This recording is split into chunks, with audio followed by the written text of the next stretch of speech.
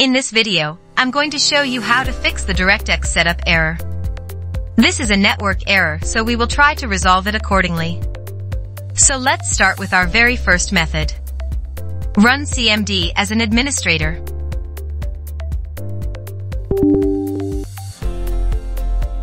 Now here you need to type some commands.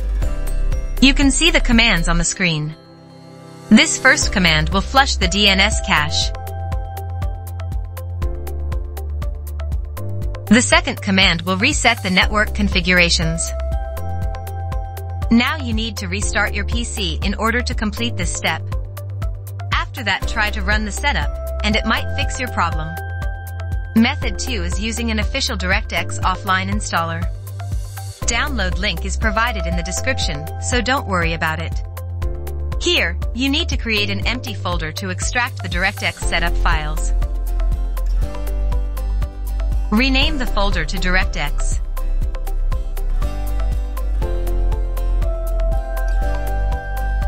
Now open that DirectX offline installer.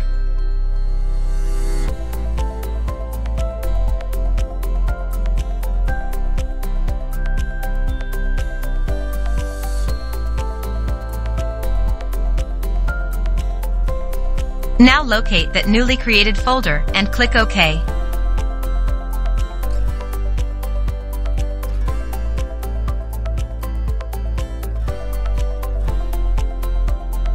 Extraction is complete. Now you just need to run the DirectX setup, and your PC will install it without any errors.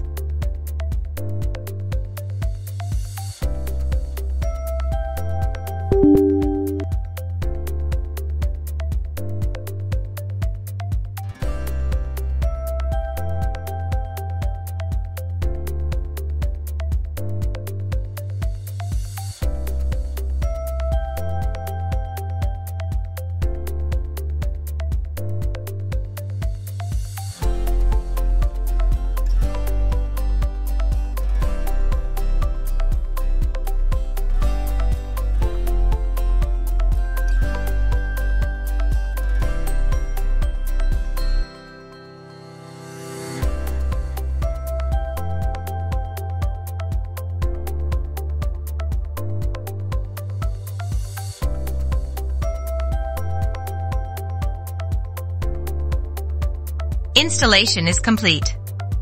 But don't close the video yet. I recommend you to install the DirectX web installer to update all the DirectX packages. Just search for the DirectX setup and download and install it. It will update your DirectX to the latest version. After that, just restart your PC and you're done. That's it.